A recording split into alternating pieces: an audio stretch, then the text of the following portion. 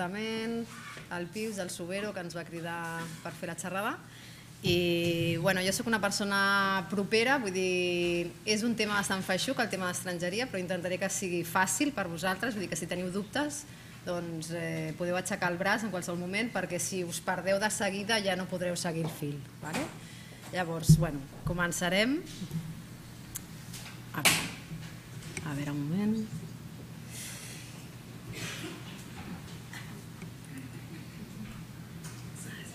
És aquest, no? Aquesta d'aquí, no? Vale, perfecte. Doncs aquí estem. A veure, faré una presentació dintre del règim d'estrangeria eh, estaria el que és el règim de comunitaris i extracomunitaris. Us parlaré dels tipus de residència que n'hi ha, eh, la renovació, que és un tema que a vegades us, que esteu interessats, la nacionalitat espanyola, el tema de les expulsions, eh, el tema de la cancel·lació dels antecedents penals i ja per acabar us faré esment d'algun dels drets dels immigrants. Llavors, dintre dels serveis que oferim al CIRE, a part d'oferir, ja sabeu que hi ha companyes meves, en aquest cas és l'Aranxa Hernáez, que el tema de la inserció laboral ho porta ella, llavors a part d'oferir doncs, el tema de la borsa de treball, per, si hi ha ofertes i compleixen els requisits eh, de residència i treball en el cas dels estrangers o si són espanyols, doncs això seria la part de laboral. No? Llavors està la part de l'àrea d'estrangeria jurídica, que aquí estaria jo, Llavors aquí fem diferents tràmits d'estrangeria, o sigui, tant renovacions, eh, amb justícia juvenil puc fer més coses perquè els menors no els hi consten els antecedents penals, perquè us feu una idea, però amb els adults bueno, podem fer coses però està més limitat pel tema dels antecedents. Val? Llavors, entrant en matèria, a veure, dintre del el que us deia, us avançava ja, el règim comunitari són tots els països que surten aquí detallats, eh, tots els països de la Unió Europea, eh, se'ls tractaria com comunitaris. Vale? Llavors, a la resta de països el nom que rep és extracomunitaris. Us recordo que eh, Romania i Bulgària ja són eh, ciutadans de ple dret, val? Eh, que fins fa uns anys no era així, però ara ja es pot dir que són ciutadans de ple dret. Bueno, eh, vaig a posar casos pràctics, val? perquè és més fàcil per vosaltres per anar seguint. Val? Llavors, eh, imagineu-vos un francès, ja no dic un romanès, un francès eh, té passaport francès o el DNI francès, però si vol treballar aquí, com ho ha de fer? Doncs aquest, aquest francès s'haurà d'adreçar a la comissaria de la Policia Nacional vale, del seu domicili. Vale? Al final de la presentació hi ha un llistat de les comissaries per localitats dintre de la província. Val? Llavors, què farà aquest francès? Anirà a la policia, demanarà un, un NIE provisional. Val? Després d'això s'haurà de fer la inscripció al registre central d'estrangers que també es fa a la comissaria. Vale? Llavors, eh, quins supòsits hi ha dintre de la inscripció? Hi ha quatre. O sigui, aquest francès vol treballar, vale, perfecte, doncs hi ha quatre tipus. Doncs, treballador compte aliena, treballador compte pròpia, o que exerceix una activitat, eh, que no exerceix d'activitat laboral perquè té rendes pròpies, o que sigui estudiant. Vale? Fins aquí bé, si vaig ràpida m'ho dieu, eh? perquè jo ho tinc molt clar i, i vaig, vaig ràpida. Eh, en el cas del treballador, imagineu-vos aquest francès que us deia. Vale? Aquest francès té una, pot ser o que tingui una oferta laboral, que seria el primer supòsit. Vale? En aquesta oferta laboral ha de tenir doncs, mínim això, nom, adreça de l'empresa, el, el codi de cotització i l'identificació fiscal al CIF o NIF de l'empresa. Eh, en segon lloc, el contracte si té el contracte i està registrat, donat d'alta al SOC, perfecte, o el document d'alta a la Seguretat Social. En qualsevol d'aquests tres documents eh, es demana cita a la comissaria de la Policia Nacional que us deia del seu domicili, on estigui empadronat, i llavors es faria, se'ls donaria el que es deia abans la carta verda, la famosa carta verda que ara l'han fet més petita, doncs és això. Vale? Després tindríem el segon supòsit, que és els treballadors per compte pròpia, és a dir, que que es volen muntar un negoci pel seu compte, què demanen? Doncs la inscripció en el cens de les activitats econòmiques o la inscripció mercantil. Eh, el tercer tipus són persones que tenen rendes eh, econòmiques, doncs que tenen diners i que no els hi cal treballar, hi ha uns requisits econòmics, normalment són el 400% de l'IPREM, que són uns 4.100 euros aproximadament. Què demanen? Pues una assegurança per malaltia, o bé pública, és a dir, pues que tenen la, si són europeus que tenen la targeta sanitària europea, o si no, eh, una privada. Vale? S'haurà d'acreditar el que es deia dels recursos econòmics i si és estudiant, doncs la matrícula d'on estigui estudiant, o bé pública o, o, o, pública o privada, l'assegurança de la mateixa manera, i doncs, si té beques o els seus pares els hi passen, els hi passen unes quantitats econòmiques, doncs s'hauria d'acreditar. Vale? Llavors, un cop aquest francès s'ha inscrit al registre central d'estrangers, què obté? Pues el permís de residència i treball. Vale? O sigui, la carta verda. Vale? Amb la carta verda pot treballar. Val? Llavors, ara ho comencem a complicar una mica més. Val? A veure, imagineu-vos, ara parlo dels familiars de ciutadans de la Unió Europea, és a dir, imagineu-vos un català que està casat eh, amb una cubana, per exemple. Vale? A veure, eh, la seva dona tindrà dret a sol·licitar el, el permís comunitari i que tindrà permís de residència i treball. Vale? o bé que estiguin casats o que sigui parella de fet, però bueno, s'ha de demostrar que són parella de fet a través d'un acte notarial. Val? Llavors, el... imagineu-vos que aquesta cubana té un fill. Val? Doncs en aquest cas, també es podria fer aquest permís comunitari pel fill. Val? Llavors tindria residència i treball sempre i quan tingués l'edat laboral a partir dels 16 anys.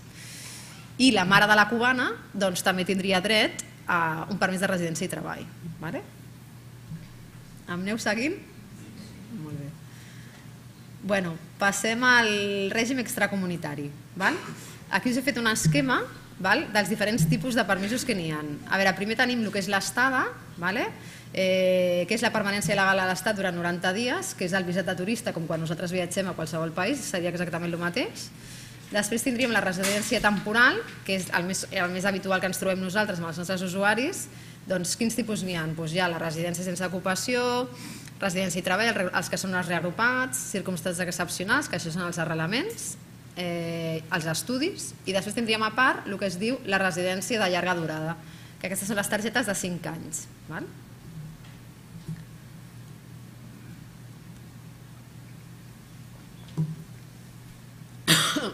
Perdoneu.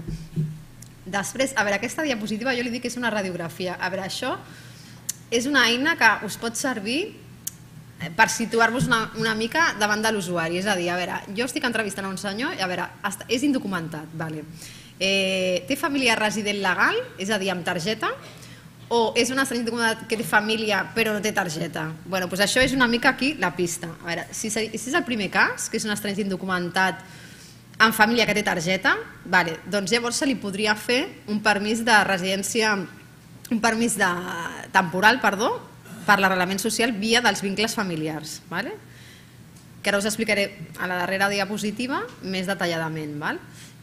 Eh, els vincles només és primer grau, eh? seria cònjuge, eh, descendents i ascendents. Vale? O sigui, pares, fills o cònjuge. Vale? I després, en el segon cas, seria que tinguessin una oferta laboral. Vale? Després, si ens trobem en el segon supòsit, que aquest ja és més complicat, que és un estrany indocumentat sense família o amb família sense targetes, que això també és, és comú. El primer que hem de mirar és que si té passaport o no té passaport. Si té passaport seria la primera via, seria una autorització de residència per l'arrelament social per la via de l'oferta laboral. Vale? Si no té passaport, s'ha de tramitar el que es diu la cèdula d'inscripció. Què és això? És un document que acredita que qui és aquesta persona. Vull dir, clar, les persones no poden no, poden no tenir passaport, vull dir, perquè d'on és aquest senyor? Qui és? Mm, quan ha nascut, no pot ser. Llavors hi ha aquest, aquest, aquest, aquesta fórmula vale, que la subdelegació del govern ens permet, que també s'adjunta, que ja, en el link que us passaran eh, us la podreu descarregar. Val? I ara us, vaig, us vaig a detallar una mica el que us deia. Vale? Una persona que està indocumentada, vale? Eh, les tres vies que hi ha. Si té una oferta laboral, quins requisits demana la subdelegació del govern? Doncs demanen que tingui un empadronament durant 3 anys continuats. Poden ser diferents localitats, sempre que s'encadenin localitats durant 3 anys. Pot haver una mancança de 3 mesos, però haurien de ser 3 anys continuats. Val? Llavors, l'oferta ha de ser, ha de ser d'un any, mínim 30 hores, vale? i un cop descomptat el seu salari, vale? el que s'hagi convingut, ha de ser mínim el 100% de l'IPREM mensual, que són 532, que us he posat aquí, i això sempre que no tingui càrregues familiars. Si tingués càrregues familiars es va incrementant aquest IPREM. O sigui, si tens doncs una dona doncs seria el 150, si tens un fill doncs 200, així es va incrementant. Vale? Llavors, eh, un altre document que demanen, eh, si tenen, per exemple, eh, algun fill, i tenen el certificat de naixement, però, ai, el fill o la dona, o aquí posa fill però pot ser fill, dona, és resident legal, si es, si es facilita el certificat de naixement o el certificat de matrimoni, doncs s'estalviarien l'informe que ve després. O sigui, si no tenen, llavors demanarien, si, no tingués, si, perdó, si tinguessin família i poden acreditar amb el certificat de matrimoni o el de naixement, ja està, no demanen res més la documentació de l'empresa. I si no tinguessin aquests documents, no tenen ni matrimoni ni naixement, en aquest cas s'hauria de demanar l'informe d'arrelament social, que això ho expedeix la Direcció General d'Immigració. Es sol·licita a l'Ajuntament d'on estigui empadronat, però ho fa la Direcció General d'aquí de la Generalitat. Aquest seria la via de l'oferta laboral, vale? llavors tindrien residència i treball. La segona via seria per la via dels vincles i que els donaria només residència. Vale? Llavors també demanen una permanència de 3 anys d'empadronament i llavors els vincles, el que us deia, cònjuge, descendents o ascendents, vale? sempre és en primer grau eh, sempre i quan eh, estiguin treballant, si no, no es pot presentar, perquè clar, si tu presentes un permís de residència per la meva família, però clar, com el puc mantenir jo? Vull dir, si no està treballant, no es podria presentar aquest tipus. Vale?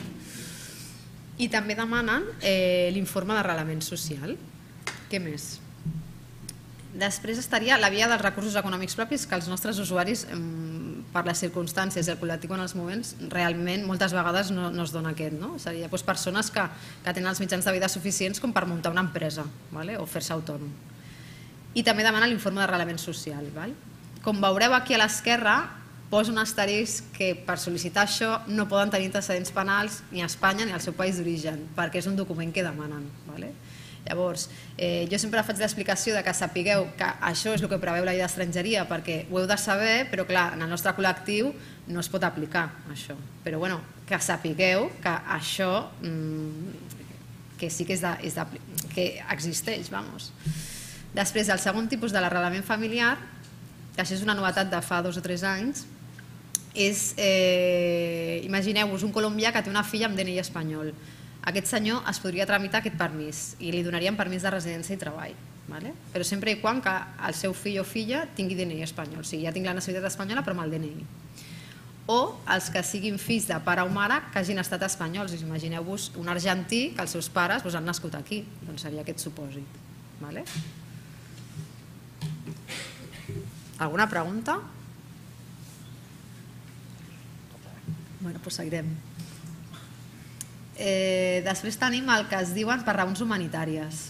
A veure, aquests són casos eh, estranys, però bueno, a vegades es donen. Eh?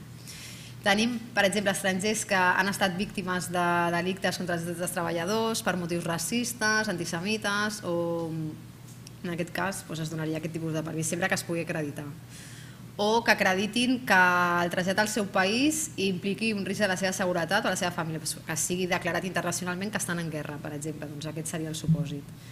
Eh, després, estrangers que acreditin que pateixen una malaltia sobrevinguda. Imagineu-vos un estranger que està aquí, té càncer o que li han diagnosticat bueno, una malaltia greu i que necessita tractament aquí a Espanya. Doncs en aquest cas i que d'interrompre pues, això, no? que suposi un greu risc per la seva salut, o per exemple, algú que tingui sida i que al seu país no n'hi hagi curació ni tractament, doncs això també seria, per exemple.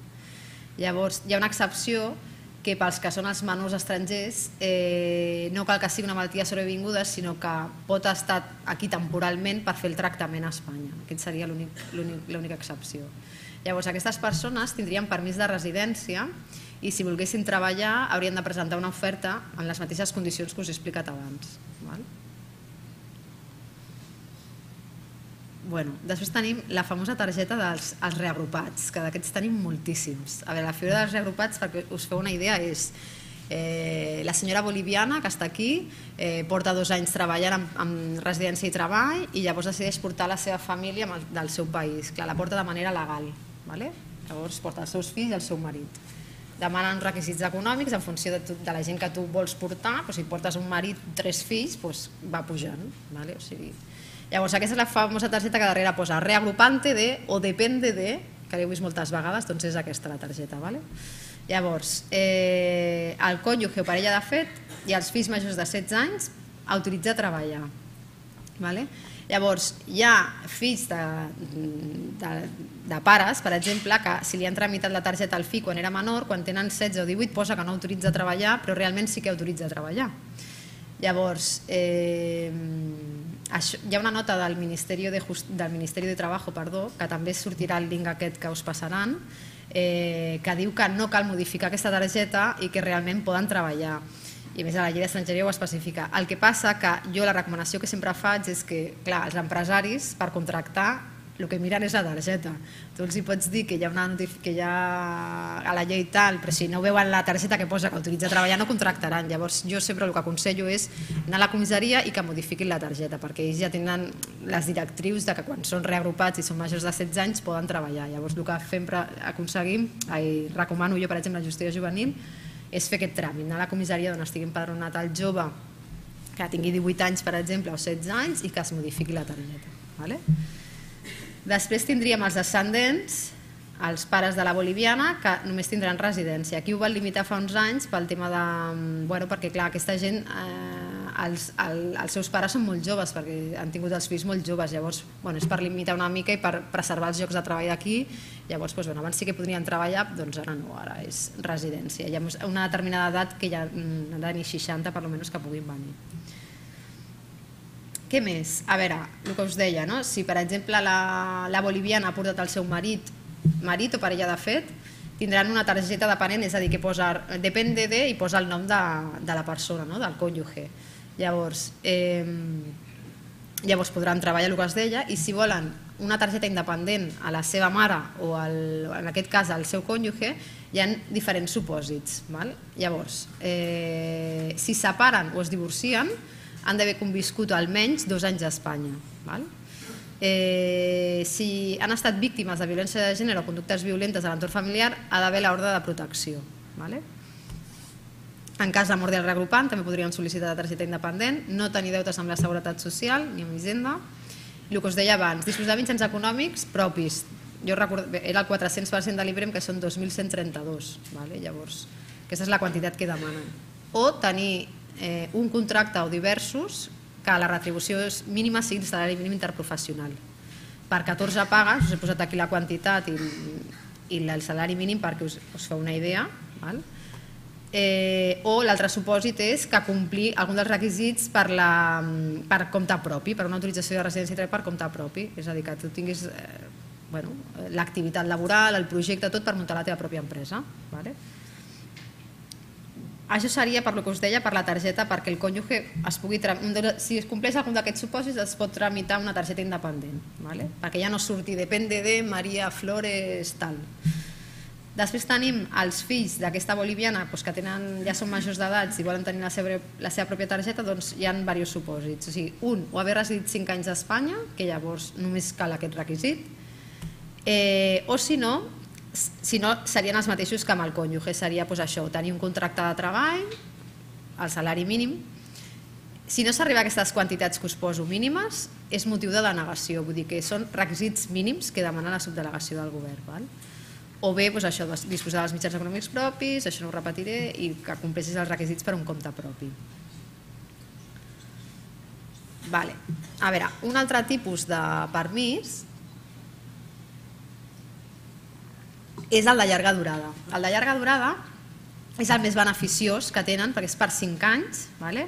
tenen els mateixos drets que els espanyols eh, i per exemple els que són joves i els han fet la targeta doncs, amb 14 o 13, doncs, eh, clar, quan ja han passat els 5 anys, que potser tenen ja doncs, 19 o 20, ja poden treballar i no necessiten contracte. Clar, aquest, amb aquest permís no necessiten contracte de treball. Ja els hi dona el dret automàticament a residir i treballar, sense presentar oferta. Vale?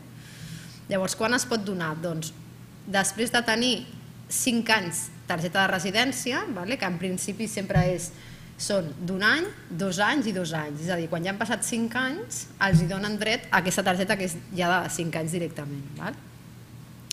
O bé que hagin estat vivint eh, a la Unió Europea amb una, amb una targeta de, de llarga durada a la Unió Europea i que els dos últims anys hagin viscut aquí a Espanya, o sigui, serien tres a la Unió Europea i dos aquí a Espanya, doncs farien els cinc llavors ho podrien, podrien demanar directament aquesta targeta. O bé, eh, imagineu-vos un noi que és resident que ha nascut a Espanya, s'han tornat al Marroc perquè la seva família és, és, mar, és marroquina i tornen aquí. Bueno, doncs quan porti ell 3 anys aquí ja podrà demanar aquesta residència. Vale? Després, imagineu-vos espanyols que hagin perdut la, la seva nacionalitat d'origen, vale? que això es pot donar, doncs per tornar a ser espanyols primer haurien de tenir aquest tipus de permís. Val? Després tindríem el, el cas dels de, que han estat tutelats per una entitat pública espanyola, a veure, no és només la de Gaia, perquè jo que porto justícia juvenil, clar, moltes vegades venen d'Andalusia, ja ha sido la Junta, o es pot ajuntar, aquí per exemple són 5 anys, el que passa que és complicat eh, poder acreditar 5 anys tutelats, perquè clar, eh, moltes vegades hi ha molts escapoliments, o sigui, moltes vegades sí que poden haver 2, 3 anys, però 5 són molts, però bueno, si es dona el cas i són encadenats, doncs que sapigueu que sí, que es podria tramitar aquest tipus de, de permís. Val? Després, per exemple, persones que són residents legals i que, són, que estan cobrant una jubilació o una prestació d'incapacitat permanent o absoluta o de gran invalidesa, d'aquest tipus també podrien sol·licitar aquest permís. Els que tinguin reconeguts la condició de pàtrides o refugiats, doncs també. I, bueno, i l'última és pues, bueno, pues per estrangers que hagin col·laborat, ja ho veieu, d'una forma notòria al progrés econòmic, científic i cultural doncs aquí hi ha futbolistes, hi ha moltes coses, o científics, però bueno, els nostres usuaris no, encara no, no estan aquí. Bueno, després tenim la renovació, que a veure, d'aquests, eh, a veure, jo tramito moltes renovacions, vale? vull dir que si teniu preguntes, eh, pregunteu, perquè moltes vegades estem amb el tema de les, complint la mesura i fent renovacions, llavors, a veure, us explico. A veure, les renovacions es poden renovar dos mesos abans de la data de caducitat vale? i tres mesos posteriors a la data de venciment. Vale? Llavors, si es fa tres mesos, per tres mesos després de la data de caducitat, a veure, eh, estem en termini, però sí que diu la llei, de, la llei administrativa i la llei d'estrangeria que et poden posar una multa per fer-ho fora de termini, no? Però bueno, normalment no les posen, però que ho sapigueu. Val? Llavors, quan renovem els que estan complint mesura? Depèn, depèn. Jo ho valoro, valoro a veure, eh, bueno, jo valoro si està a punt d'acabar, si li falta poc per acabar la formació, eh, depèn, ho valoro amb el delegat. Pues quan, quan falta? Uf, pues llavors ens esperem una mica, pues ens, mira, apurarem una miqueta més i farem lo dels, s'ha de valorar cas per cas, perquè no tots els casos, ja sabeu, i més en l'estrangeria, és molt complicat. Llavors sempre valoro jo i, i ho parlo conjuntament amb el delegat. Vale? Llavors, que sapigueu que això es fa, aquestes renovacions les fem al CIRE, vull dir que sempre que siguin de la província de Barcelona, malauradament els que m'ajuden de territoris, jo no puc tramitar res de que no sigui província de Barcelona, però, però a Barcelona sí que ho fem, a província de, més perquè tots els que siguin de Terrassa, Sabadell, tot es presenta a Barcelona, vale, a les renovacions. Llavors, eh, si tenen fills a càrrec, doncs s'haurà d'acreditar que els estan mantenint. Vale? I si, ai, que els estan mantenint, vull dir que, i també si van a l'escola també s'haurà d'acreditar doncs, amb les matrícules i tot això. Què es demana per la renovació? Doncs la sol·licitud, que la preparem allà amb el CIRE, el passaport ha d'estar vigent, això és molt important. Si el passaport està caducat no podrem fer la renovació, eh, si s'haguessin canviat de domicili i a la targeta posa un domicili i viuen actualment en un altre, s'ha de portar obligatòriament a l'empadronament. S'ha de donar una taxa, que depèn del tipus de permís que tingui aquella persona, doncs oscil·la entre els 15 i els 20 euros, depenent. Si tenen residència i treball sempre és més car, perquè hi ha una taxa que és la, la, del, la del treball, que són 70 i pico euros, aquesta és més cara. La targeta, la targeta sanitària, i ja està. Llavors, que sapigueu, això és molt important, que les persones que tingueu complint mesura i tenen residència i treball, des del moment que es presenta la renovació, es perllonga en el temps la validesa d'aquesta targeta. És a dir, que fins que l'administració no es pronunciï, aquesta persona pot, o sigui, s'entén que està en tràmit i que és vàlida la seva targeta de residència i treball perquè està en tràmit. Val? O sigui, fins que no es pronunciï l'administració, aquesta persona pot continuar treballant. Val? Inclús si vingués una denegació, eh, nosaltres, les, les advocades del CIR, les juristes, hi ha una tendència mm, d'aquest tipus que des del moment que ve la denegació i interposem el primer recurs, que aquest el, el, el fem també nosaltres, el, el recurs de reposició, eh, des de que tu interposes el recurs de reposició se suspèn l'acte administratiu i fins que no es torna a pronunciar l'administració pot continuar treballant. O sigui que estem parlant de, de, de que, clar, que si aquella persona està treballant pot continuar treballant fins a la resolució del, del primer recurs. Vale? Si vingués denegat i es presenta el segon recurs, que ja és el contenciós administratiu, que ja no el presentem nosaltres, aquí no, aquí ja no pot treballar.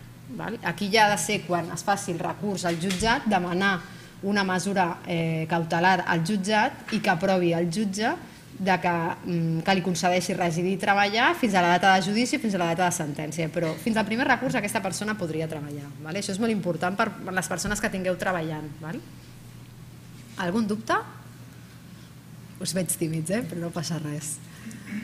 Bueno, eh, la nacionalitat espanyola. Anem a treure bulos, que sempre n'hi ha. A veure, un nen que neix a Espanya i que és de pares estrangers no és espanyol. Vale? Que quedi clar que no és espanyol. Eh, tenim una família de Bolívia o del Marroc, és igual, que neix aquí el nen. Primer, aquest nen, aquest nadó, necessitarà tenir un permís de residència. Val? Quan aquest nadó, hagi, els seus pares li hagin renovat aquest permís de residència i estigui ja concedida la segona targeta, és el moment de sol·licitar la nacionalitat espanyola. El que us poso a mà esquerra són els terminis de residència que cal per sol·licitar la nacionalitat espanyola. D'acord? És a dir, un any, que us poso aquí és, pels nascuts a Espanya, un any amb targeta de residència. Vale? Eh, els que han nascut fora d'Espanya, tant el pare, la mare, avi o àvia, és a dir, eh, un argentí que la seva mare o el pare avi o àvia hagi nascut a Espanya, després d'un any de targeta de residència podria sol·licitar la nacionalitat espanyola. D'acord? Després, els que estan casats amb un espanyol, que serien els que us deia abans, doncs un règim comunitari, doncs després d'un any de la targeta comunitària podrien sol·licitar la nacionalitat espanyola. Després, els que hagin estat tutelats o guardats eh, per una institució o per un ciutadà particular, un espanyol, durant dos anys eh, durant dos anys i tinguin un any de targeta de residència, doncs podran sol·licitar la nacionalitat espanyola. Després, dos anys de residència, tots els països iberoamericans, Bolívia, Perú, tots aquests països, eh, Andorra, que hi ha un conveni bueno, per territori, Filipines, això Guinea Equatorial, Portugal i Sefardis és un criteri històric, serien dos anys de residència. Val? Després, eh, pels asilats i refugiats serien cinc anys i per la resta de països, doncs Bangladesh, Pakistan, Marroc, tots aquests països serien 10 anys amb targeta de residència. Llavors, poso un negret aquí dalt, que és molt important, que per sol·licitar la nacionalitat espanyola, que tenim molts casos d'això, no s'han de tenir antecedents penals, perquè un dels requisits és tenir bona conducta i ho comproven, o sigui, a part, comproven, vull dir, perquè és el Ministeri de Justícia, vull dir, fa la comprovació i s'han d'acreditar mitjans econòmics. Mitjans econòmics ja sigui que tinguis un... Doncs clar, que tu t'estàs mantenint o que eh, tens un contracte laboral o tens una prestació d'algun tipus, però has de tenir algun ingrés econòmic. Si, no, si, no tens, si tens antecedents penals, si no tens ingressos econòmics, no presentis la, la nacionalitat perquè és denegació directa. Vale? Què més? A veure, amb el tema de l'assistència sanitària, Eh, us he fet un esquema perquè amb el tema de, de les retallades de fa un parell d'anys hi ha hagut unes modificacions legislatives que els hi afecta. Sí, digues. Espera, a veure si... A veure, posa, et pots posar de peu per sentir-te, si no... Bueno, a veure si t'assento.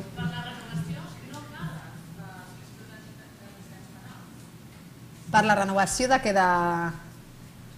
La renovació de la targeta de residència? Si calen els antecedents penals? No. O sigui, a veure, eh, quan, un usuari nostre, quan un usuari nostre té antecedents penals perquè ha estat condemnat per un jutjat espanyol, vale? quan aquell senyor va fer la renovació i posen el seu nom, surt. Eh, condemnat, tal, tal, tal, tal. Els hi surt directament a l'ordinador. Sí, perquè ells demanen uns informes policials i judicials. Vale? Han de demanar aquests informes i passen. Llavors, quan surt això, és motiu de denegació.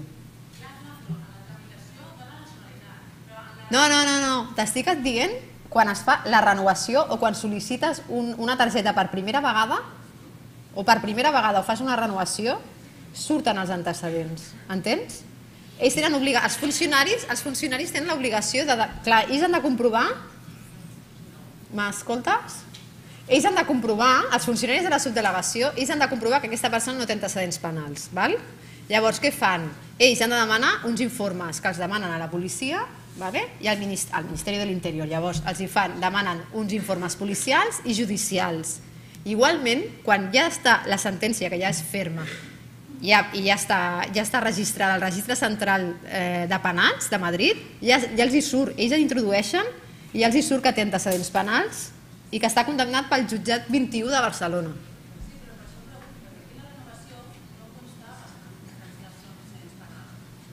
Com, com? No, ells no han de, és que no te sento bé, ells no han de presentar cap certificat d'antecedents penals.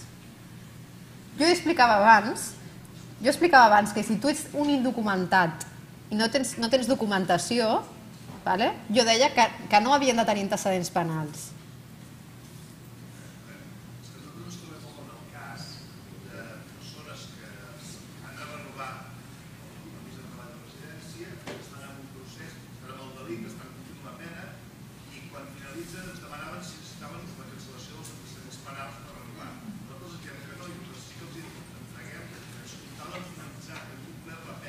Ah, sí, el que jo sí que els demano a molts delegats, si per exemple, si per exemple jo deia he de valorar amb el delegat, ara us entenc, és que no us entenia, ara us he entès.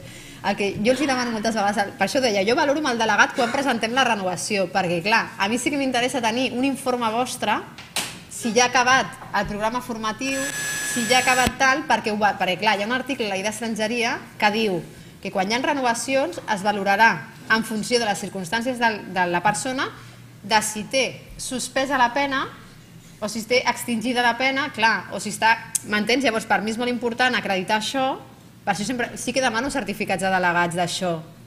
Per què? Perquè llavors la subdelegació farà, un, farà una valoració. El que passa que ells tenen...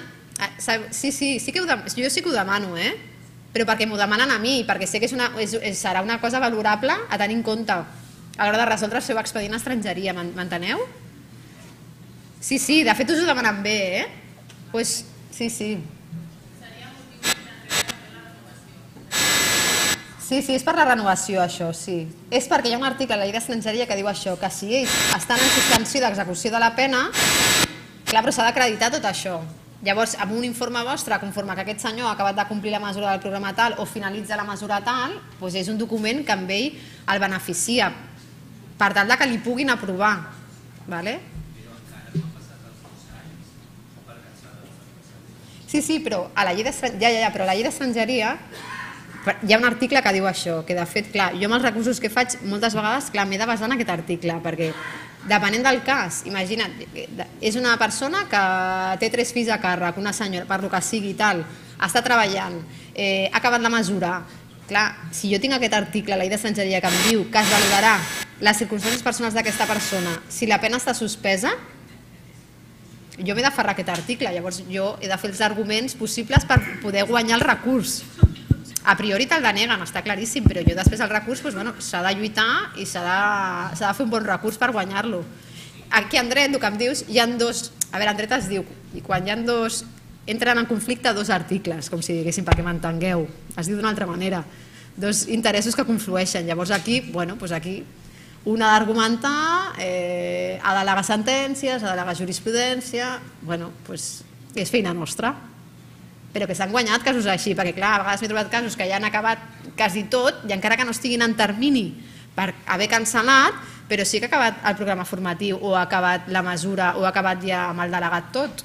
M'enteneu què vull dir? Vull dir depèn en el moment en què s'hagi de renovar, depèn, però sí, sí, es valora, eh?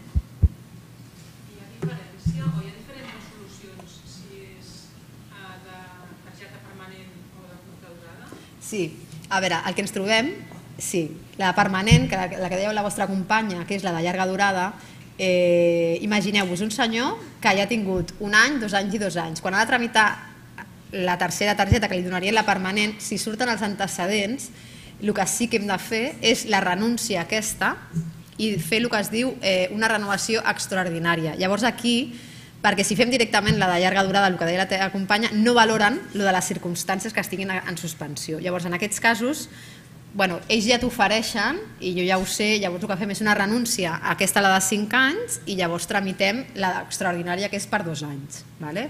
Llavors jo sé que amb l'extraordinària, més ens ho diuen, valoraran les circumstàncies de que aquest senyor pues, estigui suspès a la seva pena. Espera,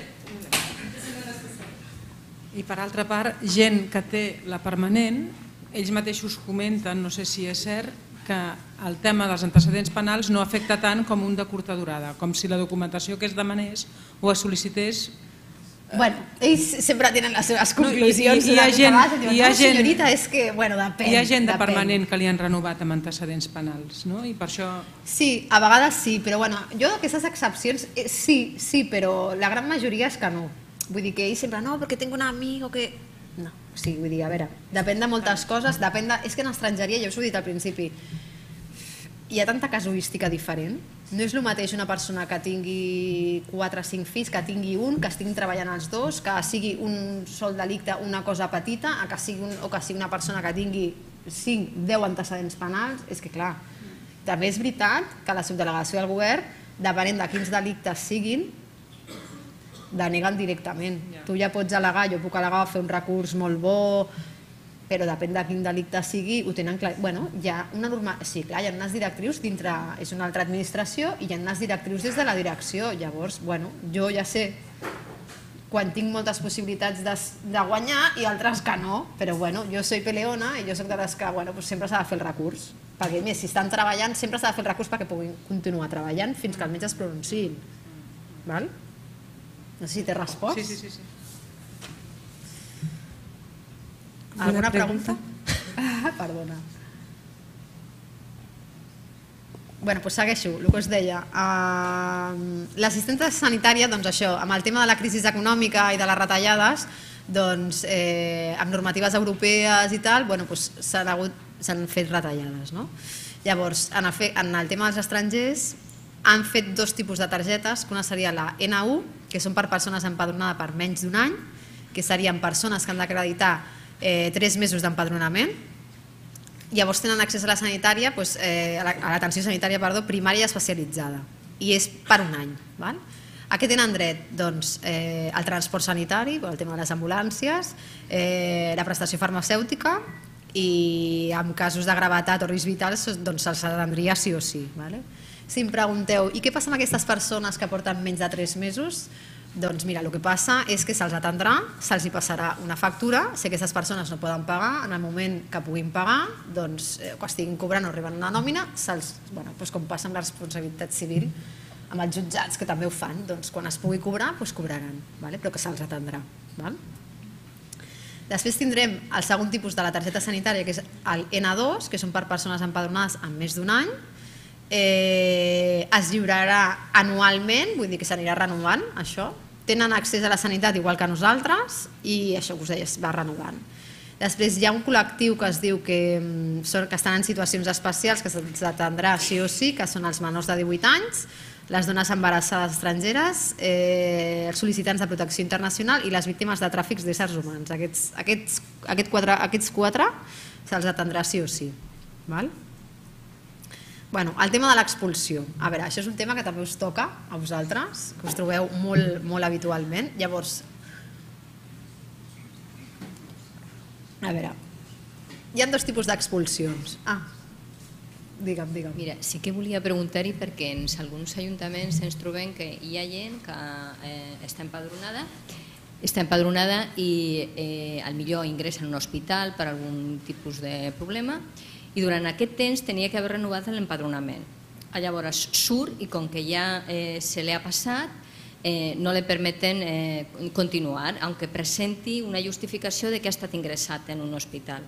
Llavors, després es troben que és gent que moltes vegades estan en habitacions rellogades o coses d'aquestes i segons la persona que tinguin pues, mira, no, no, no te pot eh, acompanyar per empadronar-te i llavors es queden com en, en un limbo jurídic per, Sí, sí, perdona. sí, en un buit. I, sí, i, sí. I jo mm, diu, bueno, a veure, trobo una miqueta com que en, en aquesta normativa de l'empadronament falteixi alguna cosa, no? A veure, en relativa a la normativa d'empadronament, penseu que és una normativa local.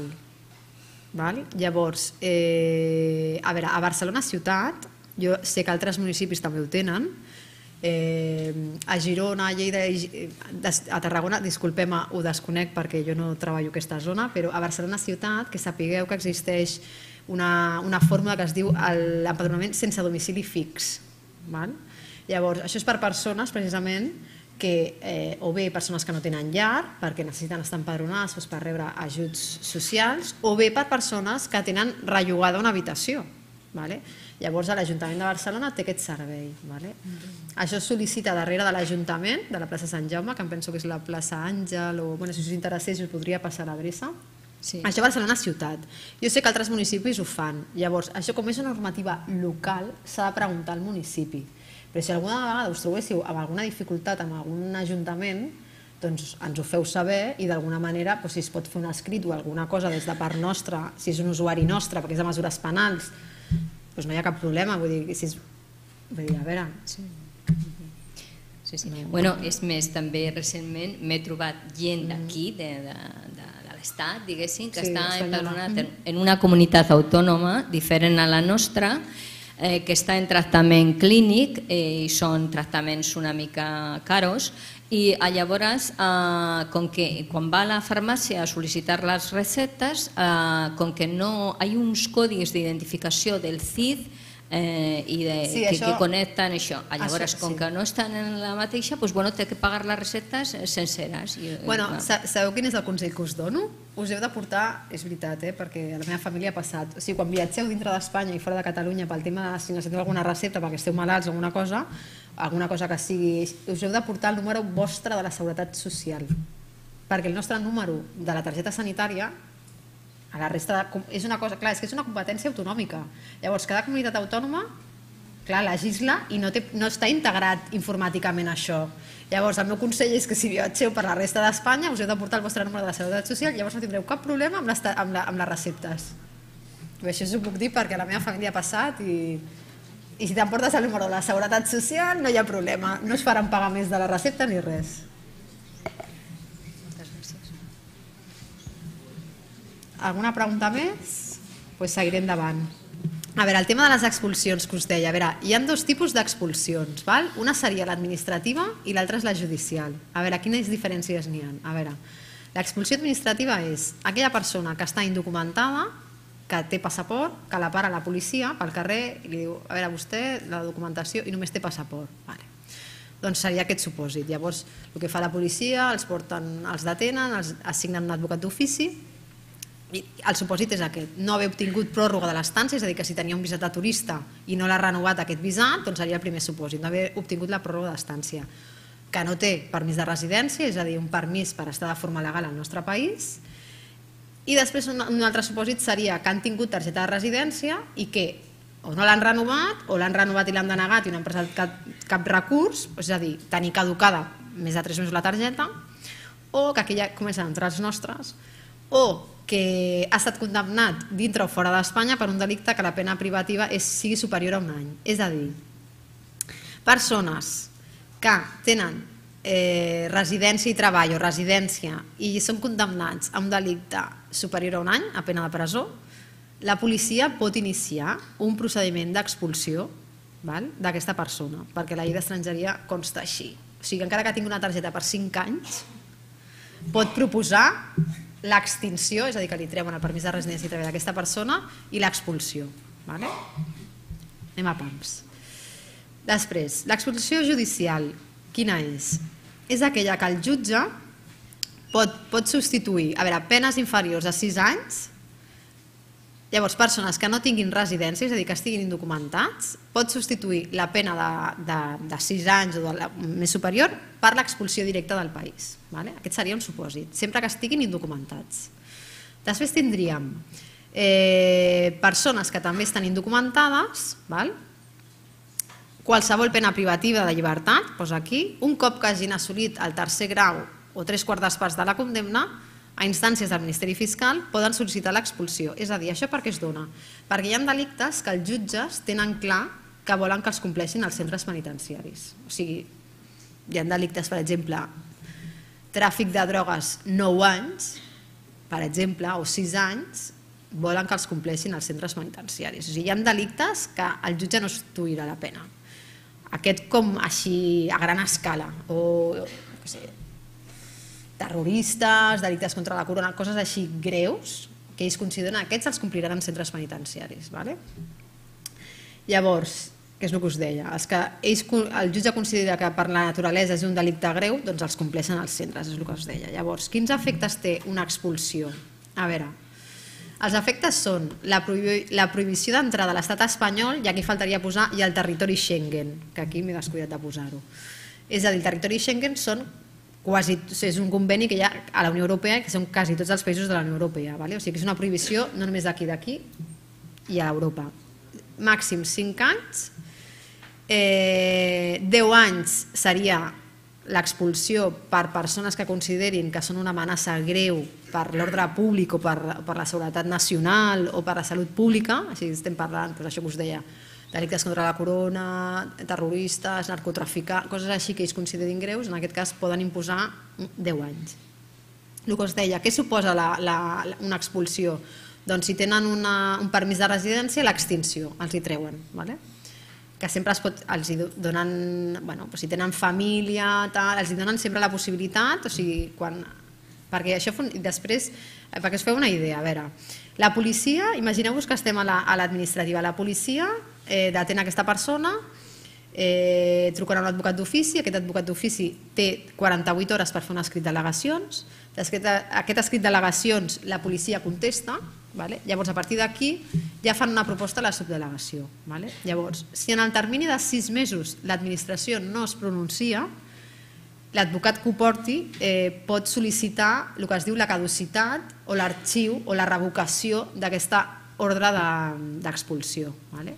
Però si en aquest, abans dels sis mesos la subdelegació s'ha pronunciat, emeten el que es diu el decret d'expulsió. Vale? Llavors, quan hi ha el decret d'expulsió, sempre hi ha la possibilitat de recórrer tens un mes, tens un mes per fer el recurs. Vale?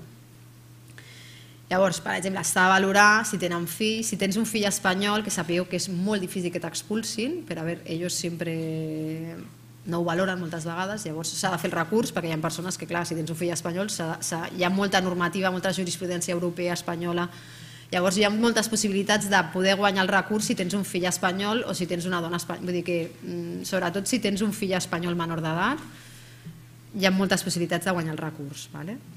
Llavors, eh, i si tens una ordre d'expulsió, què pot passar també? Doncs que si tu sol·licites per primera vegada, no tens antecedents, per exemple, eh, i sol·licites un permís de residència inicial, si tens una ordre d'expulsió, doncs t'arxivarien aquesta sol·licitud que tu has presentat. Vale? Llavors, eh, si tens antecedents penals i tens una prohibició d'entrada, que és una expulsió, ho tenim molt negre al nostre país, perquè resumint així, parlant properament, perquè us feu una idea. Llavors, amb mesures penals ens arriba de tot. Moltes vegades ens arriben en, en, en aquesta situació, al principi, al mig al final, però bueno, sempre em, em, em podeu enviar un mail, si és una cosa així urgent, doncs em podeu posar una admiració, perquè com jo com vosaltres també faig moltes entrevistes, vull dir que quasi que funciona millor pel mail que no pel telèfon, perquè sempre... Però bueno, que quan hi ha casos d'així, doncs, bueno, doncs s'ha de... Si, normalment tenen advocat d'ofici, que us deia, sempre se'ls assigna un advocat d'ofici. No sé si voleu preguntar-me alguna del tema de les expulsions. Sí? Sí? Sí?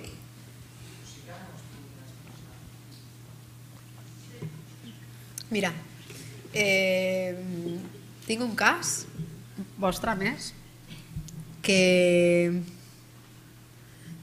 tinc un cas vostre que era d'un noi que tenia sida que al seu país no hi havia tractament. Val? Eh, tenia antecedents penals, evidentment, i bueno, s'ha de fer una sol·licitud aquí a Barcelona, però al final s'ha de presentar un escrit a Madrid, llavors valorant les circumstàncies personals d'aquest senyor, vale? fan la valoració de si aquest senyor té dret a residir i a treballar, el que dèiem abans, aquí conflueixen dos drets que entren en, en col·lisió, seria tenim antecedents penals, aquest senyor ja havia complert i tot, però encara no, ja estaven, encara, faltava poc per iniciar el termini de la cancel·lació. Vale? Eh, bueno, pues, són casos que s'han de, mm, de, de, s'ha de lluitar perquè són casos, clar, són per raons humanitàries. Bueno, pues, a data d'avui encara no, no tenim resposta, però bueno, s'ha de fer. Vull dir, hi ha un camí per poder-ho fer, jurídicament em refereixo. Val, és que t'ho comento perquè tinc un que mm -hmm. està Brians, a més, sí. que no té passaport, que no hi ha manera que li facin el passaport mm -hmm. i que té en principi posa com inex, eh, bueno, inexpulsable, no? però no hi ha cap paper, no hi ha res i, i està per malaltia. Clar, quan no tenen passaport, el que deia, el primer que hem de fer és tramitar-li una cèdula d'inscripció. Perquè, clar, una persona no pot estar indocumentada al món. Ja, Qui és aquest senyor? Sí D'on ha vingut? Sí que té, però no al seu país Ja, ja, però llavors, per no tramitar pot- aquesta cèdula, què ens demanen? Un certificat del seu consulat on digui que no el reconeixen com a ciutadà. Si del consulat es nega a fer això, perquè es poden negar, llavors bueno, es fa a través d'un notari. Vull dir que hi ha, hi ha vies per fer totes aquestes coses. Vale? Val, merci. I una pregunteta molt curta. Hi ha algun registre públic per saber si el, una persona ha estat expulsada? No, no, no, no, no. no. Jo, a veure, eh, si vosaltres teniu algun dubte eh, de si aquesta persona té alguna expulsió, jo puc fer la consulta. No puc fer 160 consultes de tots els delegats, però jo puntualment, sí, mira, és que aquesta persona pues, puc fer la consulta. Jo a vegades, clar, jo necessito saber segons quines coses, nosaltres, a veure, al CIRE anem cada dimecres a la subdelegació, per us feu una idea. Llavors, clar, tenim una relació propera, més tenim uns funcionaris com assignats, no? llavors tenim un tracte preferent per ser justícia també, eh, que això ens facilita molt les coses, la veritat, saps? Llavors, bueno, si és un cas que necessitem saber això, ho podem consultar. Sí, sí.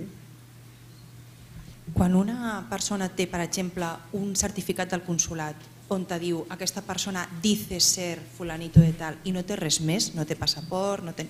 llavors es fa la cèdula d'inscripció i llavors ja se li pot tramitar un NIE o algun tipus de... per poder complir la mesura, per poder complir la pena de, treballs. Ah, aquí vamos a otro tema importante. Vale? Clar, si, si tu només tens una, un, un, un certificat del consulat on te diu esta persona dice ser, És que estàs barrejant dues coses. I jo com- estàs com barrejant dues coses molt importants ¿Cómo me i molt diferents. Estic barrejant dues coses molt Vale. importants i, i jo que m'he trobat en moltes sessions que us he fet sempre surt aquest tema. A veure, això els vostres caps us ho poden explicar millor que jo. Però jo sí que us puc explicar que sé per vosaltres és que hi ha jutjats, els que estan indocumentats, hi ha jutjats, hi ha jutges que el que fan és, si no tenen número de la seguretat social, el que fan a la pròpia sentència és fer un manament judicial a la seguretat social perquè a aquella persona se li, faci, se li otorgui un número de la seguretat social perquè pugui complir la mesura penal. M'equivoco o no? Eh, Jo crec que això m'ho heu explicat a mi molts delegats. I de fet jo ho he vist, aquest manament judicial. En alguna vegada m'he volgut fer la còpia per tenir-ho. Vull dir que aquests, clar, però això ho fa, o sigui, és, el, és el jutjat que ho fa. Saps què vull dir? I una altra Que aquesta pregunta ja va més als vostres caps, eh? No va tan No, no. dirigida a mi, eh? I una altra pregunta. Eh, si no ho entès malament, Sí. abans has dit que, per exemple, una persona indocumentada que ha comès, que ha comès un delicte Sí? eh, se'l pot ingressar a presó per complir la pena, perquè és una pena greu. Vale. Eh, després aquesta persona se la pot sancionar també via administrativa en l'expulsió? A veure si t'he seguit bé. Una persona que està indocumentada Ha comès un delicte, Ha comès un delicte llavors en principi la pena seria una pena d'expulsió. Però no, no, no, el jutge, jo he dit, el jutge, si és una pena superior als 6 anys, Sí. vale? el jutge pot substituir aquesta pena, que sigui documentada, la pot substituir per una expulsió. Això és una possibilitat. Vale. La segona possibilitat seria qualsevol tipus de pena, vale? però compliria, estaria en primer grau, segon grau, a presó, vale?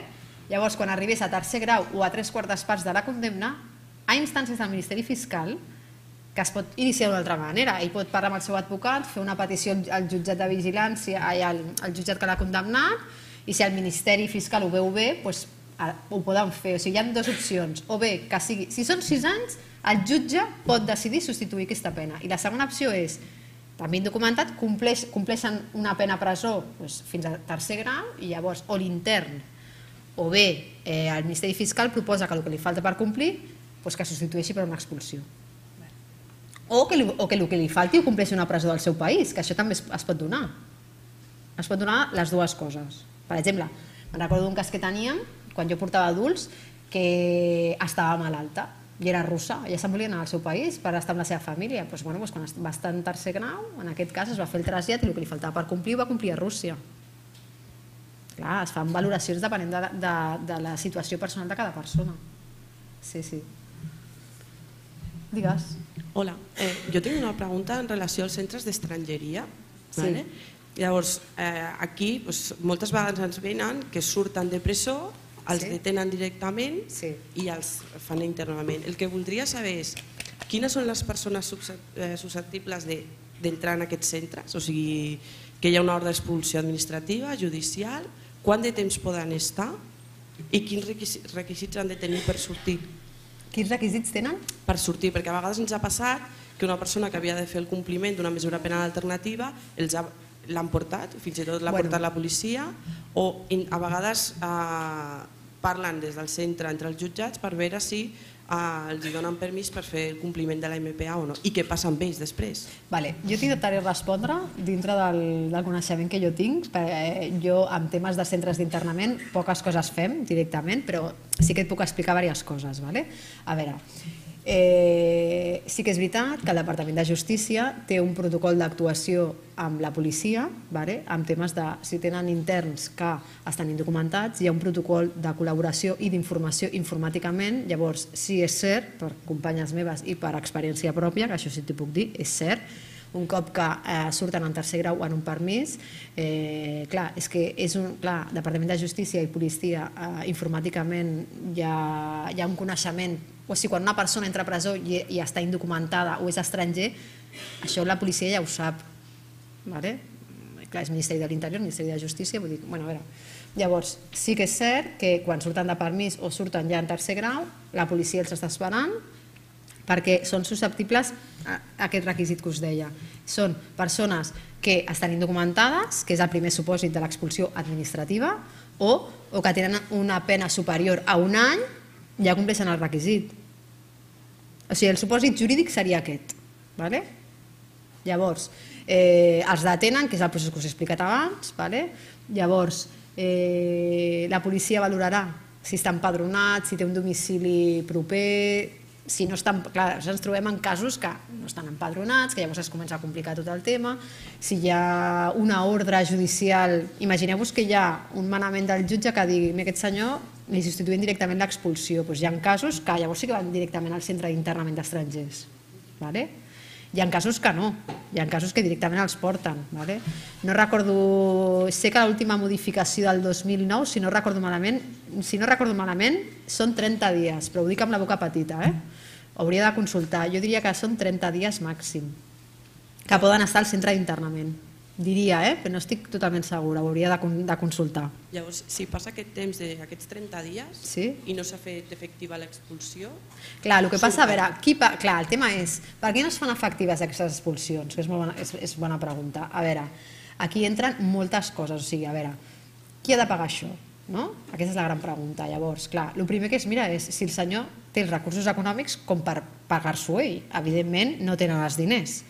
Després contactaran amb el seu consulat. Els consulats es neguen a pagar-lo.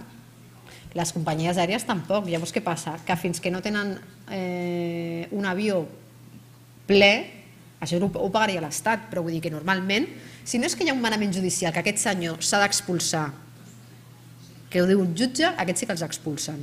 Però si no, doncs, bueno, econòmicament val molts diners, llavors no es pot expulsar a tota la gent que pot tenir ordres d'expulsió. No sé si t'he respost més o menys al que em preguntaves. sí, bueno, T'ha quedat algun dubte? No? Pregunta, a veure si t'ho puc bueno contestar. no, però suposo que això donaria per molt més. Sí, dona, però- dona per molt i sé per on vas, eh? però jo no, no tinc ga- gaire experiència amb centres d'enterrament, la veritat, Vale. Gràcies. de res. Digues. Ah, espera, que passen el micro allà darrere. quan hi ha una persona que, té, que ha, disposat de NIE, creu en aquell moment teva que no l'ha renovat o el que fos, Sí? i jo l'envio a la societat del govern o a la comissaria que li donin un paper o quan sense NIE, quin risc hi ha de que se'l quedin allà? Molt alt. Molt alt. No hi ha un altre lloc on li puguin donar aquest NIE sense tenir aquest? Clar, jo, jo us entenc a vosaltres. Vosaltres necessiteu el número de NIE perquè ell pugui complir la mesura penal. A veure, jo, jo sóc una jurista del CIRE i jo no he de dir ni als vostres caps ni a ningú el que s'ha de fer. Però jo, eh, posant la llei a la mà i sabent que els manaments judicials, que els jutges poden demanar el número de la Seguretat Social i instar la Seguretat Social, jo crec que és la mesura més efectiva i millor que, que podríeu fer. Però jo no sóc ningú per ficar-me dintre de les directrius ni coses de... M'enteneu? Però jo crec que seria la millor manera per evitar aquestes situacions. Però clar, això ja no, no depèn ni de, ni de vosaltres ni de mi. Perdona? Mm? No, jo no us he dit que vosaltres, eh?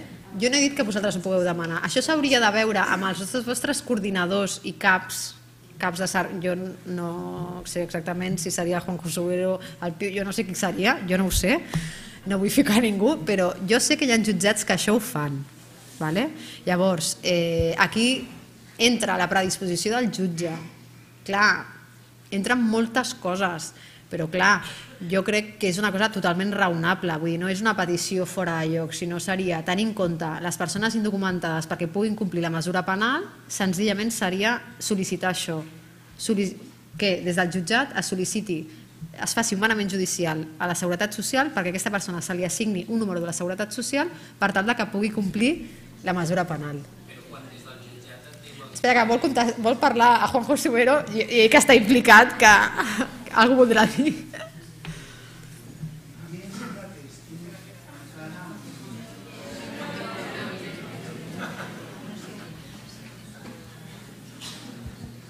Hola, hola. Que em sembla que estem encara amb, amb, amb un xip de temps enrere. Des de fa ja un parell o tres d'anys, la normativa va canviar i ara per donar d'alta, per poder gestionar l'alta de la seguretat social dels TBCs, només cal que aquesta persona estigui identificada i tingui un passaport. És a dir, no cal NIE, no cal res més.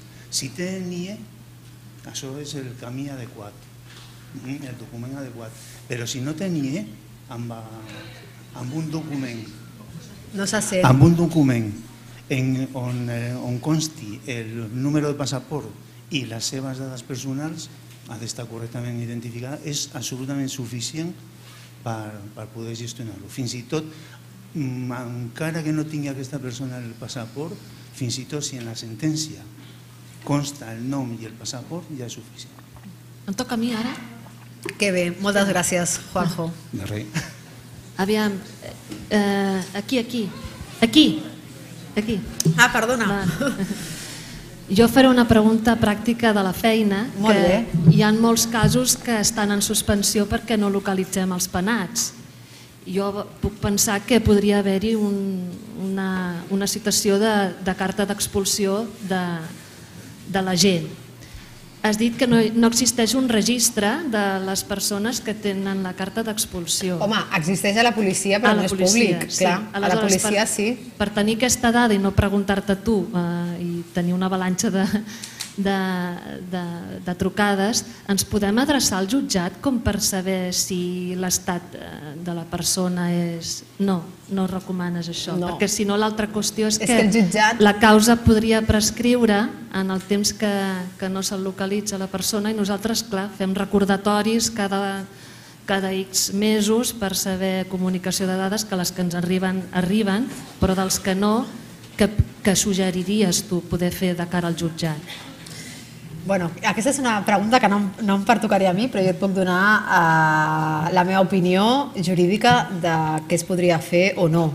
Eh, a veure, jo sé que és una situació habitual, que hi ha persones que, que tenen suspesa la pena, tenen l'interlocutòria de suspensió d'execució de la pena per un any, dos, tres, tres anys, i aquella persona no s'ha localitzat. Eh, són, són situacions que se'ns escapen una mica. Clar, són persones que canvien de telèfon constantment, el seu advocat té obligació de localitzar aquella persona, però si, si l'advocat no té el nou telèfon no pot localitzar aquella persona. Eh, són coses que ja no depenen ni del Departament de Justícia, depèn del jutjat, depèn de, de quines mesures podria dur a terme per eh, localitzar aquella persona perquè ha de fer un compliment. Clar, aquí ja entra el jutjat, el secretari judicial, el jutjat si decideix, doncs anem a posar aquesta persona en busca, i, en busca i recerca perquè es personi el jutjat. Això ja és que no depèn de nosaltres, m'entens? És complicat, és complicat. Lo dejo ahí.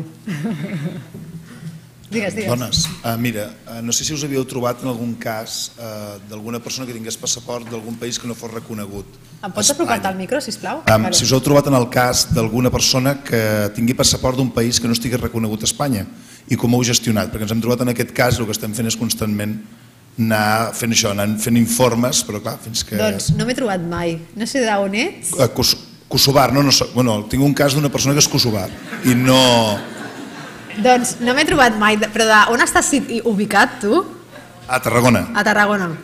Bueno, no m'he trobat mai, eh? però la veritat és que m'has deixat de pedra. No m'he trobat mai, però bueno, a veure, una col·laboració així puntual a través de la Imma o la Victòria, que no sé amb qui et coordines, del CIRE, eh, a tra... bueno, ens, ens podríem a veure, mirar el cas, a veure si es podria fer alguna cosa, no ho sé, perquè m'has deixat morta. Clar, no es pot aconseguir un número de la Seguretat Social. Clar, clar.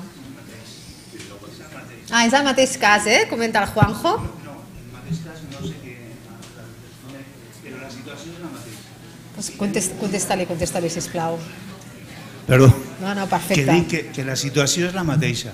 Si tenim un número associat a una, a una persona amb nom i cognoms i un document oficial que ho digui, és suficient per tramitar la seguretat social. No. Hem, de poder dir que una persona està identificada d'una determinada manera. Si hi ha qualsevol document que sigui oficial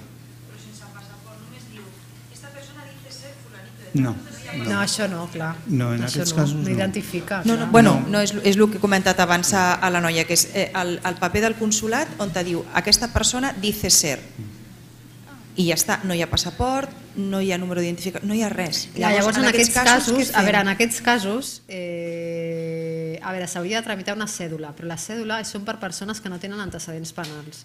Però llavors, aquestes persones, perquè complissin, jo entenc que eh, si tenim una quantitat de persones important que no poden complir una mesura, jo proposo, ara em la cavalleria encima, Eh, depèn dels casos que siguin, sí que valdria la pena. A veure, nosaltres tenim contacte amb la cap de l'oficina d'estrangeria, però amb algun responsable de justícia i amb nosaltres, que som els especialistes en estrangeria, si tenim casos d'aquests tipus que no, que, que no tenen ni passaport, només tenen això del consulat, que es pogués tramitar aquesta cèdula pel temps per complir la mesura. Ja no, perquè clar, com el requisit és no tenir antecedents, però clar, si és, perquè clar, si tu sol·licites la cèdula et dona un número de NI. Encara que fos per complir la mesura si és una persona que no tenen passaport, vull dir, perquè jo lo dejo en el aire. La, la, la dificultat que ens diuen la, la Seguretat Social és que aquesta Seguretat Social dona dret a uns determinats drets mm? i si no es pot identificar de forma mm, correcta a una persona es poden donar situacions de frau Exacte. i abús. De manera que ens podem trobar persones que diuen ser el que sigui i que en realitat són altres persones. I això ens ho hem trobat en la policia i en la seguretat social. Llavors s'ha de relacionar un nom i un número. El problema quan una persona no té un número i diu que es diu Juanjo, pues, si és correctament eh, si, si és, és aquest el, el seu nom correcte o és la personalitat d'una altra persona. I aquesta, aquesta és la dificultat.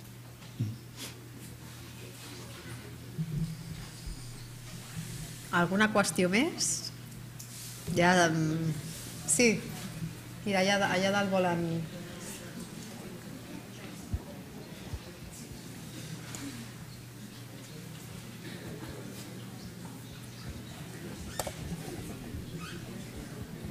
Hola.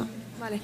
Eh, és un cas que, tenim, que ens ha trobat nosaltres a l'oficina d'un noi que és immigrant, és del Marroc, de, té 23 anys i porta bastant de temps doncs, allà i bueno, recentment, al novembre o així, va tenir un brot psicòtic i va estar a salut mental. Però al mateix període que va tenir el brot psicòtic doncs va tenir una pena pel qual, com no, tenia, com no li havien renovat el NIE, doncs eh, li van fer una carta d'expulsió, que no sé si és judicial o administrativa. El cas és que res, fa dues setmanes ens va venir la mare i ens va explicar que sense tenir en compte les seves característiques, que ara actualment està en salut mental, que era una persona dependent, que se l'havien emportat al CIS i que el dia següent se l'havien emportat al Marroc. I estan intentant fer recursos i tot, i era simplement per saber si hi ha possibilitat de que el retornin. Home, a veure, ara ja... A veure, ara ja... Eh, a veure, té antecedents penals. Eh, la mare, si l'ha de reagrupar... i Quina edat té? Ara té 23. És que ara l'única manera per tornar del seu país és amb una oferta laboral i que quan estigui intermina de cancel·lar els antecedents penals ha de tenir cancel·lats els antecedents penals i tenir una oferta de les característiques que us he dit. A veure, és que això s'hauria d'haver fet, això s'hauria d'haver fet quan estàvem aquí, que és el moment, saps? Perquè si no, clar, tu pots fer recurs, pots fer... Clar, un cop ja està al Marroc, ja està perdut tot. Saps què vull dir? Perquè, clar, l'advocat que ho portés o ja has perdut tots els terminis per poder interposar qualsevol recurs. Vale, vale, merci. Ah.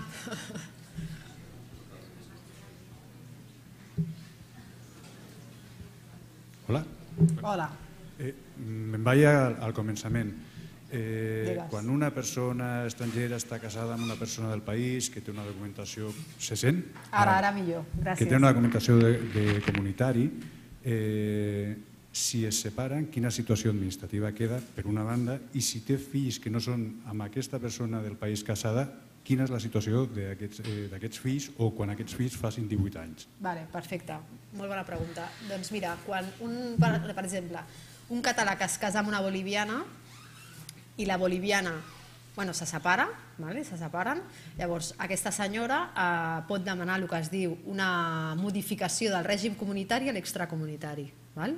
Llavors, en aquest cas, aquesta senyora per tenir aquesta targeta haurà d'acreditar que té recursos econòmics propis, haurà, clar, un contracte de treball, que està cobrant una prestació, alguna cosa. Els fills de la boliviana, que no són del català, no perden mai el dret a tenir un permís de residència. Vale? Quan fan els 18, eh, si la mare... Eh, a veure, a què et refereixes? Mm, Fins ara tenia un règim que estava vinculat amb una persona comunitària i aquest nen que té 17 anys, eh, se separa la mare o se separa el pare, eh, És que jo mm, estic- t'estic veient que m'estàs preguntant per un cas concret. no, No? no, Ah, vale, bueno, no? sí, Ah, vale. tinc, però... Ah, vale, vale, vale, no passa res. Eh, Eh, doncs, què doncs, a veure, en principi, si, ja et dic, si, imaginem-nos que els fills són menors, ara quan siguin majors. Si són menors, ells tenen dret, eh, perquè són menors d'edat, que encara que s'hagi dissolt el vincle amb el comunitari, ells, poden, ells continuaran tenint el permís de, de residència. Un cop finalitzi la vigència d'aquella targeta comunitària, sí que s'haurà de fer la renovació a través de la seva mare. Vale? I quan tinguin la majoria d'edat, si continuen vivint amb la mare, la mare continua treballant o amb una prestació, doncs no hi haurà problema i es podrà renovar. Però tindran ja la nova targeta del canvi de targeta. Vale?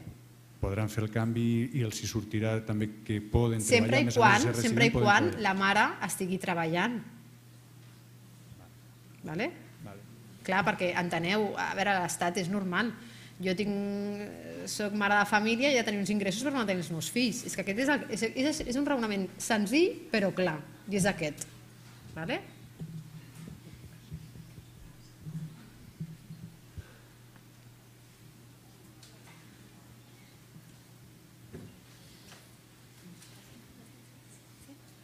Hola, jo és que tinc un cas d'una mesura de seguretat d'internament en centre psiquiàtric i tenia una ordre d'expulsió de 10 anys.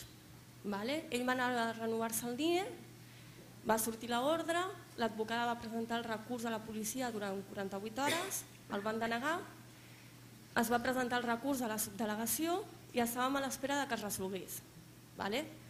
Passats els sis mesos, ens posem un altre cop en contacte per demanar la revocació i ens diuen que es va publicar dicta Mm. sí, i no es va informar. Vale?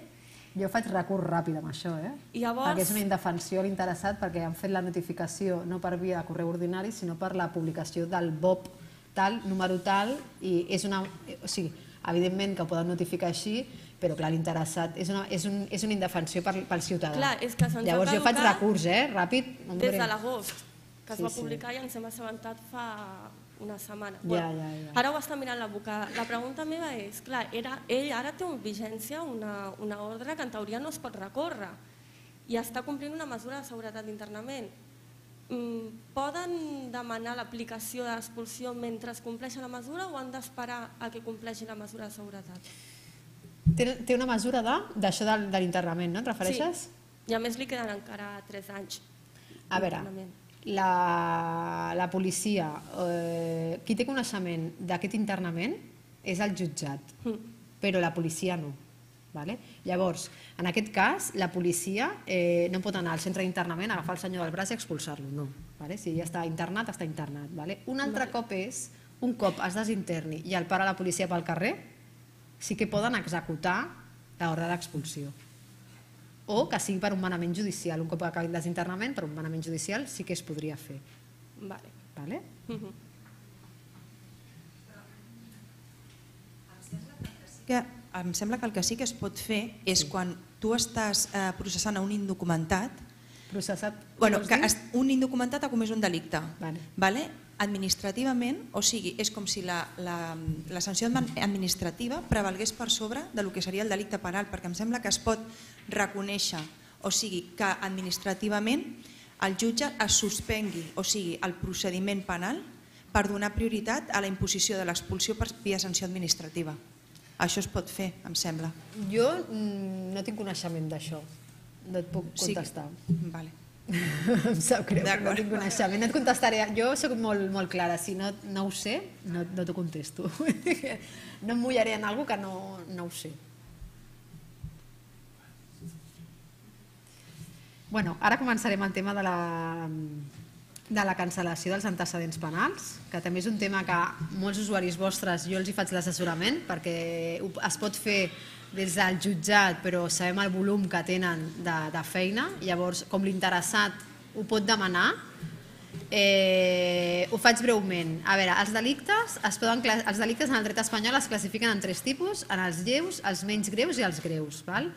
Els lleus, doncs, eh, he posat uns quants, no estan tots, eh, dels delictes. Eh, per exemple, eh, treballs en benefici de la comunitat d'un dia a 30. Això seria una pena lleu, llavors, un cop que acabessin de complir aquests 30 dies, a partir del 31 dia, un cop que hagin transcorregut aquests 6 mesos, doncs la persona podria sol·licitar la cancel·lació d'aquest antecedent penal. Vale? Recordem que els antecedents són de delictes i no de faltes, que les faltes no són antecedents penals. Val? Després tindríem el segon tipus, que són les penes menys greus, que serien eh, el primer, per exemple, penes de presó de 3 mesos fins a 5 anys, Eh, si és un delicte imprudent i no supera els, eh, i no supera els 12 mesos, serien dos anys per cancel·lar. Però normalment són dolosos i normalment eh, són 3 anys, vale? no són imprudents. Llavors, i després, per finalitzar, són les penes superiors a 5 anys o, per exemple, una prohibició de comunicar-se amb, la, amb una persona, amb l'ambient familiar durant superior a 5 anys, doncs seria una pena greu. Vale? Llavors, com es, com es, la, el gran què? Com es comença a comptar el tema de la cancel·lació? A veure, jo sempre, sempre els demano als, als nostres usuaris que vagin a demanar la liquidació de la condemna. Moltes vegades les, la, ho tenen, eh? però per assegurar-nos, vale? perquè clar, si tu agafes el Codi Penal, el que diu és el següent. Eh, el que tenim nosaltres més comú seria el segon cas, que seria pena de presó de 3 mesos a 5 anys. Vale? Aquesta és la més comú, que llavors són 3 anys per cancel·lar. Anem a un cas pràctic. Eh, clar, tenim la persona, la interlocutòria de suspensió d'execució de la pena. Vale. La sentència és d'una data, l'interlocutòria és d'una altra. Quan es comença a comptar? Què passa? Que el- depèn del jutjat, s'hauria de comptar de la mateixa manera, però cada jutjat ho compta d'una manera. Llavors, el millor és la liquidació, o sigui, resumint. Llavors, jo com ho conto? Jo conto l'auto de suspensió, la interlocutòria, perquè clar, és el que dèiem, si no s'ha localitzat la persona durant un any, dos anys, clar, efectivament no compta. Vale? Llavors, quan ja aquella persona comença, s'ha notificat, té coneixement, comença a, a, a, la data és des de la interlocutòria de la suspensió, si són dos anys, doncs agafa la suspensió dos anys, i a partir de que s'ha acabat, perquè si té una mesura d'un programa formatiu o el que sigui, eh, passen aquests dos anys, llavors s'han de comptar, a partir d'aquell moment, a partir del dia següent, s'han de comptar els tres anys. Vale? Llavors, sempre, sempre la liquidació de la condemna. Vale? Jo, si m'ho demanen ells i ho veig que van molt perduts, els hi faig l'assessorament sobre com fer-ho, on s'han d'adreçar. Aquí a Barcelona es fa al Ministeri de Justícia al carrer Garcilaso 123. Llavors jo els facilito la fulla, els dic, mira, si sou estrangers el que us demanen és el passaport amb una còpia compulsada amb un notari, només on estan les dades d'ells, i si tenen targeta seria doncs, la targeta de residència compulsat per un notari i el certificat del jutjat conforme que aquesta pena està extingida. Llavors aquests dos documents, amb la sol·licitud de cancel·lació, es pot fer o via correu ordinari, carta certificada perquè no es perdi, o en persona. Jo sempre els recomano que vagin al carrer Garcilaso. Eh, és així, és complicat. A la pràctica, que si... ¿Cuándo se cuenta este año? Bueno, això s'ha de fer cas per cas, vull dir que no, no té més. ¿vale? Mira, una pregunta. On estàs, que no et veig? Hola, mira, jo voldria preguntar si els antecedents es cancel·len automàticament o s'ha de demanar que es cancel·lin. On estàs, que no et veig? Ah, vale, vale, perdona, digues, digues. Voldria saber si els antecedents penals es cancel·len de manera automàtica o sempre s'han de demanar. No, com he dit al principi, eh, els jutjats d'ofici poden eh, sol·licitar la cancel·lació dels antecedents, però pel volum de feina que hi ha als jutjats, moltes vegades, o sigui, el que sí que ells comuniquen, perquè estan obligats per llei, és comunicar al Registre Central de Penats de Madrid que aquella persona ha acabat. ¿vale? Mm, efectes pràctics eh, ho acaben fent a la llarga, però clar, potser la persona ja fa temps que ho podria haver sol·licitat. Llavors, clar, jo el meu consell, o sigui, es pot fer o a instància del jutjat o a de l'interessat. Llavors, jo sempre els recomano que ho facin ells. Per guanyar, perquè guanyar temps per ells. Sí, hola. Ah, eh, jo tenia entès sobre el que havies comentat de, del tema des de quan... S'escolta? Sí, ara. Perdó. Um, Bueno. Tenia entès, quan has explicat el, el tema de les suspensions, Sí? que eh, es començava a comptar el període de cancel·lació justament el dia després de que finalitzés el període de la suspensió. Jo tenia entès que eh, es posava la pena originària suspesa, és a dir, si tu tenies sis mesos de presó suspesos durant tres anys, te n'anaves a la interlocutòria a la data de notificació, es posava la pena originària suspesa, això, el càlcul un cop arribés al final de la suspensió. Eh? Sí, és a dir, sí. per calcular la, la cancel·lació, te n'anaves a, a la notificació de la interlocutòria, de la suspensió, La posaves la pena originària suspesa i a partir del dia després d'aquella pena que acabés, el període de O cancel·lació. sigui, tu deies que tu proposaves primer la suspensió i després la pena. Primerament és el període de compliment penal. Normalment, bueno, normalment, sí, sí, ja t'entenc. Sí, seria aquest, no? La idea? seria això? Sí, suspensió i després la pena a... No, no, no, no, és la, a dir, la, la pena que l'ha condemnat el jutjat X, si són sis mesos, tu posaves la suspensió de dos anys i després els sis mesos. No, No, no, no, no Ah, és a dir, tu tens sis mesos, durant tres anys acabes el període de suspensió, si tot està bé, la donen per complerta la pena de presó, i per calcular el període de cancel·lació des de quan ha de començar, te'n vas al moment en què el jutge decideix com has de complir aquella pena, per tant la interlocutòria de suspensió, li sumes la pena originària, que en aquest cas eren sis mesos, després del dia següent dels sis mesos li sumes el període que aquí en el Codi Penal estableix segons el termini, no? Sí, sí, sí, sí. que serien en aquest cas dos anys. Seria així? És que mira, amb el tema de la cancel·lació, mira, parlo amb un jutjat, parlo amb un altre advocat i aquí cadascú diu la seva, saps? I mira que el Codi Penal ho diu clar, per això jo el que us recomano és la liquidació de la condemna per sortir de dubtes, perquè jo, per exemple, és que així tens el document del jutjat on diu quan finalitza, perquè clar, jo puc fer el càlcul, però jo per assegurar-me i assessorar bé la persona, que a mi m'agrada m'agrada quan- fer bé les coses, jo prefereixo tenir el document davant, assegurar-me'n, perquè llavors li dic, miri, aquí, segons el jutjat, jo he fet els meus càlculs, i a veure, normalment més o menys coincideixen, ¿vale? però clar, jo t'estic entenent a tu, però es complica més quan té diverses condemnes. M'estic passant de temps, no? Aviam. Que És que és si una- persona és una demanda que ens fan sovint, Si, sí. per exemple, té diverses condemnes, encara s'allarga més. Perquè llavors sí que he de sumar, he de sumar totes les condemnes que té, miraré, llavors es complica molt. perquè eh, en relació amb el tema, és a dir, per, és a dir una pena, eh, segons el Codi Penal, és susceptible de cancel·lació un cop tu ja l'has complert en funció de la gravetat i a uns terminis. Clar, però tu el que dius... sí, que des dius, de quan comença a comptar aquest sí, termini, sí, sí, no? Sí, clar, el tema és, si té, una, una, si té sis mesos de presó Sí. i té una suspensió de dos anys, Mhm. clar, es solapen en el temps, vull dir que clar, aquella persona, vale, són sis mesos, vale, i després la suspensió, Vull dir, que estem parlant de sis mesos, saps? Però normalment són molt més. Llavors, clar, mm, jo no m'arrisco. Jo demano una liquidació. Jo Quan dius liquidació, perquè clar, eh, la persona eh, La té una finalització de la suspensió. És un sí. document que, que el jutjat fan. Vale? Llavors aquí posen quan s'inicia, quan per ells s'inicia el compliment de la pena i quan s'extingeix. Clar, en el cas d'una suspensió seria el, la finalització de la suspensió des del moment que se li notifica Bueno, durant posa, el temps. Bueno, ho posa tot, saps? Ho posa tot. Posa, posa quan inicia la pena i quan s'extingeix la pena. Mhm, Però després els antecedents, clar, en aquest sentit, Clar, llavors jo, quan finalitza la pena, és, llavors en aquest cas el que es fa és es compta la suspensió. O sigui, es comptaria el període de cancel·lació, perdó, si són 3 anys, a partir de la pena d'extinció, data d'extinció, doncs si és 31 de l'1 del 2015, doncs a l'1 de febrer del 2015 comptarien els 3 anys per cancel·lar. val, o sigui, és la data d'extinció. Correcte, no? I per cance... Només una cosa més i ja acabo. Per cancel·lar eh, s'han de tenir totes les penes susceptibles de cancel·lació d'una mateixa Sí, la executòria. gent no ho sap, sí, són totes. Perquè tu pots cancel·lar dos, però han de ser totes. T'arriba una carta de la, del Ministeri de Justícia i tu miris, senyor, vostè és que encara té tres per cancel·lar i no estan terminis, s'han de fer totes juntes. Per tant, és la més llarga en el temps la que Sí, marcarà. Exacte, exacte. sí. D'acord, gràcies. De res. Alguna pregunta més? No, estic acabant ja, eh? No va bé. Ah, sí. Sí, sí, no, ja estic, ja estic, ja estic. Hola, sí, és que realment s'aplica com ho estava explicant aquest noi, no? O sigui, que es tira cap a retrospectivament cap enrere i després el dia, que, el dia després de que s'hagués acabat d'extingir la pena inicialment imposada, o sigui, si hagués sigut de presó de presó, es comencen a computar. Sí, sí, sí. Ah, vale, és que Sí, sí, sí, bé. sí, correcte, És- sí, I si sí. no, és que he buscat l'article i tot. El 136.3 ho especifica bé, que si hi ha una suspensió sobretot s'ha de tirar cap enrere i aplicar-ho així. Sí, sí, sí. Vale. I una cosa, jo també he tingut alguns penats que han demanat antecedents penals per de manera separada i sí que els hi han cancel·lat, eh?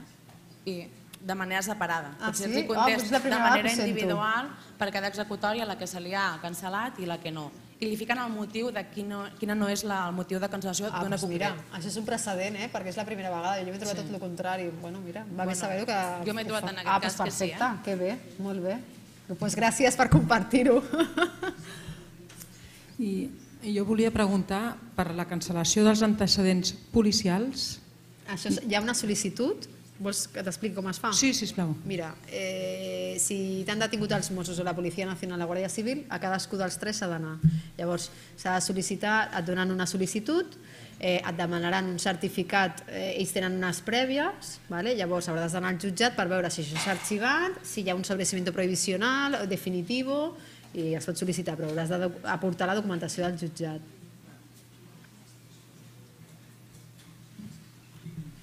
I ja, ja està, vull dir, l'altre és, una, és un mer re, que va haver un, un, un traspàs de competències autonòmiques, que això és per, bueno, doncs per recaptar calarons per aquí per casa, que ha un, el de residència i treball es fa que ho fa el SOC i no ho fa la subdelegació del govern, és un motiu econòmic i res més, i per mi, bueno, gràcies per convidar-me aquí al centre d'estudis i al departament per pensar en, en fer la xerrada i ja està, ja he acabat la meva exposició.